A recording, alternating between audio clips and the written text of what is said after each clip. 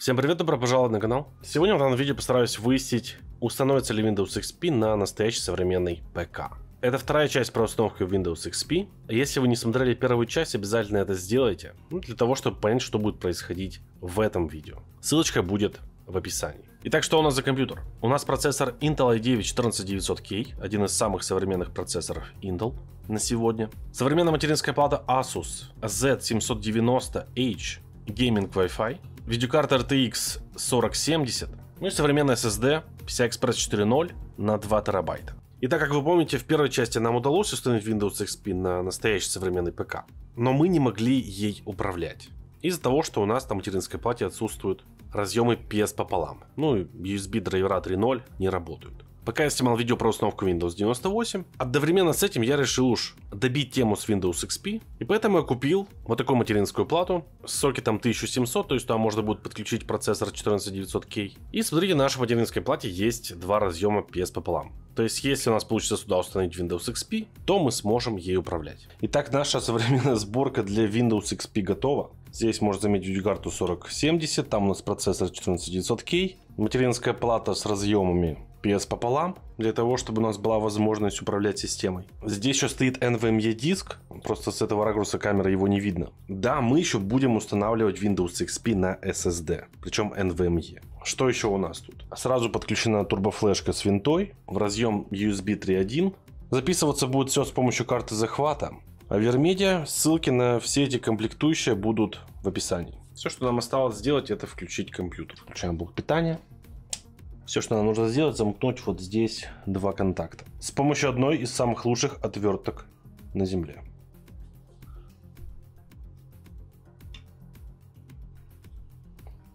Ну вот, все, мы включились. Так, смотрите, вот у нас BIOS материнской платы на чипсете H610. Ну, теперь я просто могу переключаться со вторым компом через переключение HDMI. Вот у нас основной комп, и вот устройство захвата видео.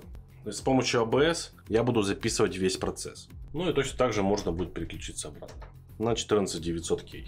Итак, заходим в boot меню и выбираем нашу турбофлешку с винтой. Естественно, в режиме KSM. В UEFI этот образ Windows XP установить не получится. Итак, ну что, выбираем наш современный образ Windows XP, винтой и грузимся с него. Ссылку на этот образ вы сможете найти на моей страничке в Boosty, а также все необходимые инструкции. Там бесплатная подписка, вы можете поддержать канал, все деньги пойдут на создание контента. Ну а также вы сможете получить ссылки на все необходимые файлы и подробные инструкции. Ну что, поехали? Так, здесь нужно просто нажать кнопочку старт, либо дождаться вон окончания времени. Выбираем язык. Я выберу 32-битную систему по той причине, что, ну, с 64 могут быть проблемы. Об этом, конечно, тоже будет отдельное видео. Я читаю ваши комментарии. Вы просили установить Windows XP x64 на современный ПК. И это видео будет. Но пока здесь, чтобы было меньше проблем, лучше выбрать 32-битную операционную систему. Нажимаем далее, соглашаемся с протоколом. Так, расширенный режим Advanced. Так, и здесь, смотрите, у нас исправно отобразилось, что наш NVMe диск. Выбираем наш NVMe SSD и жмем кнопку «Далее». Все, у нас начинается установка. И как вы можете заметить, установка очень быстрая. Ну, все потому, что мы, во-первых, используем винтой с NVMe диском. У нас там бешеная скорость. Плюс все это дело подключено к разъему USB 3.2. И поэтому мы получаем очень быструю установку Windows XP. Здесь не торопитесь, тут может вылезти командная строка, и вот, например, я первый раз спутал, увидел тут какую-то ошибку, думал, что что-то не идет, нужно просто дождаться окончания. Итак, у нас продолжается установка, пошел у нас, получается, второй этап. Так, здесь нужно выбрать Windows XP Legacy.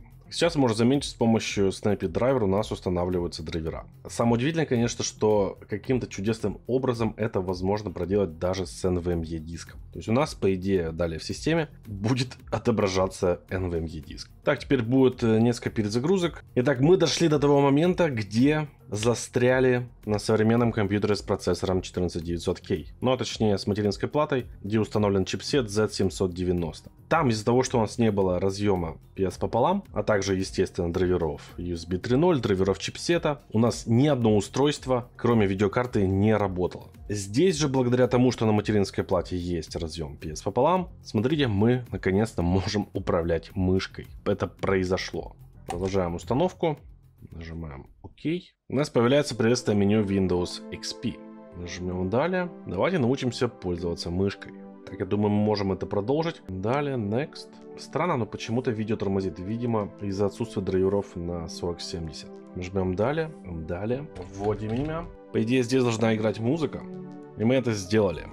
Для начала проверим свойства моего компьютера. И что мы имеем? Мы имеем процессор Intel 9 14900K Windows XP. Так, у нас всего лишь 2 гигабайта оперативной памяти. Ну, стоит то же самое ограничение, что и Windows 98. Хотя чему тут удивляться, мы же установили еще 32-битную операционную систему. Что касается видео, у нас тормозит изображение, и все лишь потому, что ну, не существует драйверов Windows XP для 4070. Там, если не ошибаюсь, даже, по для семерки нету драйверов. Поэтому, что мы будем делать дальше? Ну, просто возьму и поставлю сюда видеокарту NVIDIA GeForce 8400GS с объемом 1 гигабайт. Как можно заметить, здесь у нас есть драйвера для Windows XP у нас возникает очень сложная проблема, потому что драйвера на видюку почему-то не устанавливаются. Причем я поставил сюда даже более старую видеокарту 8600GS, и на ней происходит все то же самое. После установки драйвера у нас происходит перезагрузка, и она становится цикличной. Скорее всего, дело тут в драйверах чипсета, которые установил Snappy Driver Installer. А может быть дело в образе. Очень печально, видимо, данный образ требует доработки. Там уже, скорее всего, вышла следующая версия. Поэтому решил, так сказать, действовать по старинке. Я возьму обычный оригинальный образ Windows XP и интегрирую туда драйвера HCI от Fernando. Если вы смотрели первую часть, вы помните, что система у нас запустилась, просто не работали USB порты. Ну, из-за отсутствия PS пополам невозможно было управлять системой. Правда, единственное, там мы не сможем использовать NVMe диск. Ну, для Windows XP, я думаю, и обычного SSD хватит запасом. Но для этого нам понадобится CD-ROM, потому что если мы пробуем запустить установку образа с интегрированными HCI драйверами с турбофлешки, то вылетим в ошибку 7B. Выбираем CD-ROM. Не забываем нажимать клавишу F7 при установке. У нас появляется привычное меню установки. Отлично, все работает. Нажимаем Enter и выбираем наш SSD диск. Так, ну это уже гораздо лучше, у нас все успешно установилось. Давайте проверим свойства моего компьютера, у нас тут все то же самое, это процессор i9 14900K. Память отображается точно так же. Идем дальше, пробуем открыть CPU Z. Посмотрим, сколько у нас отображается ядер. Ну, слушайте, довольно-таки неплохо. У нас показывает 24 ядра и 24 потока. В каком-то смысле можно сказать, что все работает почти в полную силу. Правда, частота у нас только 3200 МГц. Так, идем дальше. В раздел материнская плата. Но тут у нас все то же самое. Давайте проверим память. Здесь все то же самое. Перейдем в раздел графика. И смотрите, здесь нам удалось установить все драйвера для NVIDIA GeForce 8400GS. Почему это не получилось в образе Windows XP для современного ПК? Ну, возможно, Snappy Driver Installer установил какие-то некорректные драйвера чипсета. Вот, хотя я пробовал все это дело удалить, но там ситуация не менялась. Здесь все работает исправно. Идем дальше, перейдем в раздел бенчмарков. Запустим бенчмарк. У нас появляется вот такое значение. К сожалению, мы не можем его почему-то сравнить с другими. Значение явно ниже, чем будет на Windows 11. Вот, кстати, вам картинка для сравнения. Что касается драйверов, вы не поверите, но удалось установить практически все драйвера. Даже на PCI Express сетевую карту и встроенную сетевую карту тоже. То есть у нас есть интернет. Вы можете себе представить. Ну, все потому, что это не Intel, производитель сетевой карты, а Realtek. Realtek уже давно производит сетевые карты, и, видимо, какие-то старые дрова там к современным адаптерам подходят. Это, конечно, очень классная новость. Единственное, что не удалось установить, это драйвера на USB потому что тут стоит USB 3.2. Если в образе Windows XP ESD для современного ПК эти драйвера есть, здесь у нас их нету. Возможно, их даже можно как-то, наверное, перенести сюда, и все заработает. Но мы просто можем воспользоваться вот таким USB-адаптером PCI Express, который, кстати, здесь исправно определяется. К слову, на материнской плате современного ПК Z790 у нас вообще никакого устройства, подключенное в PCI Express, не определялось. Здесь э, все как бы заработает, если мы захотим подключить сюда USB. Также часть драйверов э, чипсета удалось установить от драйверов под Windows 10. И у нас даже есть звук, который, конечно, выводится не через звуковую карту, а через HDMI. Что тоже, в принципе, нас очень радует. Единственный минус, что мы сюда не можем подключить NVMe диск. Но он здесь не будет определяться, и установка даже не запустится. Ну, во-первых, оно особо тут и не надо, потому что и так на обычном SSD все летает очень быстро. И второй момент, Ну, в образе Windows XP ESD для современного ПК там же все работает, то есть, в принципе, это возможно сделать. Я думаю, нужно просто будет дождаться более, так скажем, стабильную версию Windows XP ESD, и там уже проблем будет гораздо меньше. Итак, так как мы можем использовать интернет, я скачал современный браузер Supermium для Windows XP. В принципе, здесь он отлично работает. Давайте даже попробуем зайти на свой канал, пока YouTube работает. Такие вот предыдущие видео про Windows XP, в принципе, работает все очень быстро и без каких-либо проблем. Странно, что YouTube прогружается, потому что сейчас с ним проблемы.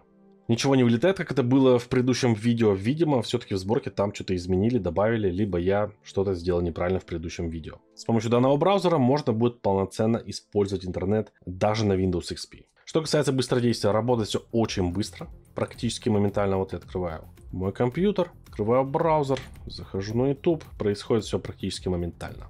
Да, вот бы мой первый компьютер работал с такой же скоростью на Windows XP. Также закачал MSI Afterburner для того, чтобы посмотреть, какой FPS будет в играх, но, к сожалению, RivaTuner у нас выдает ошибку. Просит отправить отчет об ошибке. И все это повторяется постоянно. Идем дальше. Я сюда закачал игры. Это у нас GTA Vice City, Half-Life и Will Rock. Как раз того времени. Посмотрим, как они будут работать. Давайте начнем с GTA Vice City.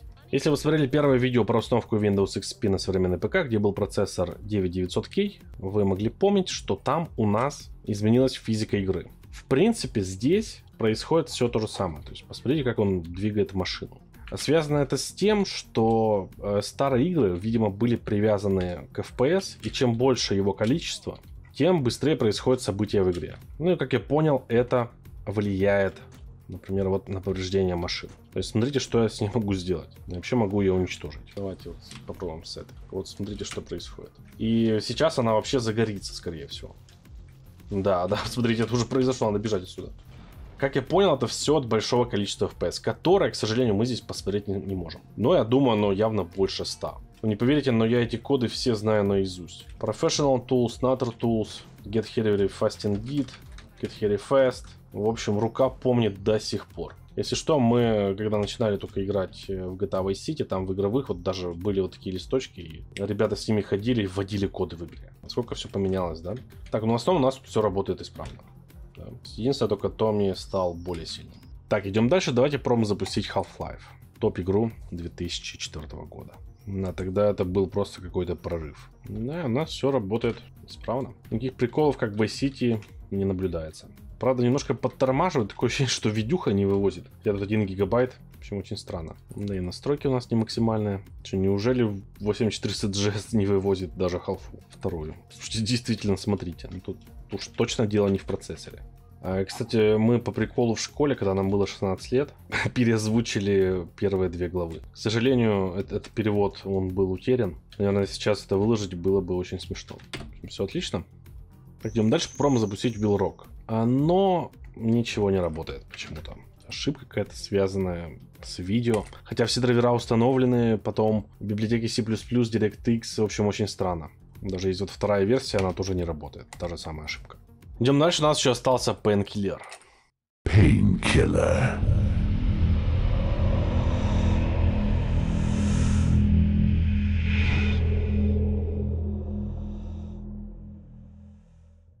И он запускается, по всей видимости, без проблем. Да, все отлично. Если вы смотрели первое видео про установку Windows XP на 9900K, вы помните, что у нас была вот такая ситуация. Опять же из-за большого количества FPS. Здесь, смотрите, такого нет. Сейчас FPS довольно-таки высокий, самые низкие настройки, и ничего не происходит. То есть все стандартно. Возможно, это связано как-то с дополнительными ядрами. То есть если у нас на 9900K всего 8 ядер, то здесь помимо этих 8 есть еще дополнительная. Ну и частота у нас занижена. Ну что, у нас еще одна победа. Windows XP отлично работает на процессоре 14900K. И здесь у нас ситуация даже лучше, чем было на 9900K. Все ссылки на образы и подробные инструкции будут на страничке в Бусте. Напишите в комментариях, какую следующую операционную систему установить. Если данное видео вам понравилось, обязательно поставьте лайк и не забудьте подписаться на канал. Всего доброго,